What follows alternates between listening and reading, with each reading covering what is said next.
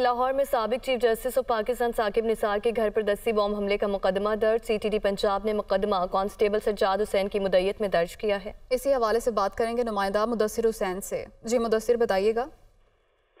جی بالکل گارنٹور میں سابق سابق چیف جسٹس کے گھر پر گرینیڈ سے جو ہے وہ حملہ کیا گیا تھا۔ اب جو ہے وہ سی ٹی پنجاب نے حملے کی F I R constable Sajjad Hussain کی مدیت میں درج کر لی ہے۔ ایف آئی آر میں دہشت گردی کی دفعات میں دیگر سنگین جو دفعات ہیں، وہ لگائی گئی ہیں۔ ایف آئی آر کے متن کے مطابق حملے کے نتیجے میں تین افراد کانسٹیبل احمد اس کے علاوہ خرم شہزاد اور ملازم جو تھا، وہ سجاد حسین، وہ زخمی ہو گئے تھے۔ حملے سے دو گاڑیوں کے شیشے بھی، جو ہے، وہ ٹوٹ گئے تھے۔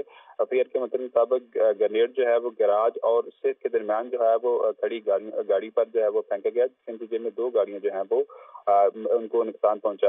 افیئر کے مطلب میں مزید جو ہے وہ لکھا گیا ہے کہ حملہ کرنے والے کا تعلق کسی کالدن تنظیم سے لگتا ہے اور لاہور پولیس اور پولیس جو ہے وہ انہوں نے واقعے کے بعد علاقے کی ناکہ بندی بھی کی تھی۔ ایسے والے سے سٹی ضلع کا ہم کہنا ہے کہ جو پولیس ہے وہ تحقیقات جو ہے وہ اس نے شروع کر دی ہے اور جی۔ موقع پہ جو شواہد اکٹھے کر کے فرانزک لیگ میں بجوا دی گئے۔ ہیں جی شواہد اکٹھے کر لی ہیں۔ مدثر بہت شکریہ آپ کا۔